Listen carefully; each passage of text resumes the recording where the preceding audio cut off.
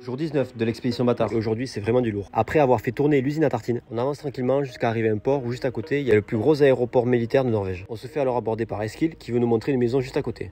Il est l'un des plus grands journalistes de la Norvège et cette maison qu'il vient de racheter et transformer en bar était en fait le lieu de vie de plusieurs dizaines de prisonniers soviétiques pendant la Seconde Guerre mondiale. Ce sont d'ailleurs eux qui ont construit la première version de l'aéroport qui est juste à côté. On apprend que plus de 60 d'entre eux sont d'ailleurs morts dans cette maison et on y voit encore les vestiges de cette époque-là avec notamment des journaux qui ont plus de 100 ans. Ils nous offrent une boisson et nous indiquent une autre maison encore plus fascinante remplie d'objets loufoques. C'est une véritable collection remplie d'objets récupérés par des pêcheurs qui est stockée ici. C'est alors qu'ils nous montrent un objet qu'il aurait volé lors d'une mission à Tripoli. Et cette veste, elle appartient au fils de Kadhafi. Alors est-ce que c'est vrai ou pas? Après une courte formation sur l'amarrage et les nœuds, on met les voiles.